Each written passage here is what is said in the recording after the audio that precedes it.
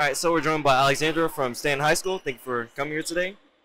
All right, so as a unit, how do you build each other up?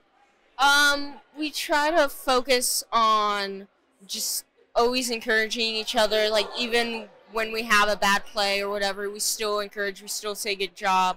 Um, we help to teach others who maybe have not played the sport as much as us. We help to encourage them and show them what to do to get better. Do you have like a routine to getting better? Um, for me, it's just practice and drills. Like, so I play softball and basketball. For softball, it's just hitting a bunch in the batting cages, and then like just practicing on my throwdowns. How do you feel about your coach? Um, we have a new coach this year. He uh he seem he's nice. Um, I I think he's good. I think he'll be good for our team. We're still just working some things out as as a whole. So I think once the season progresses, we'll get better, and his coaching style will be more effective for us. Is there anything you're doing to bring each other up as a unit?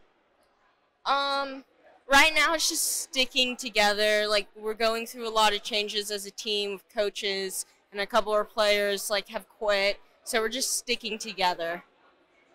Thank you for joining us at this year's high school 912 Sports Media Day presented by First Coast YMCA and Baker's Good Sports. All right, thank you for having us.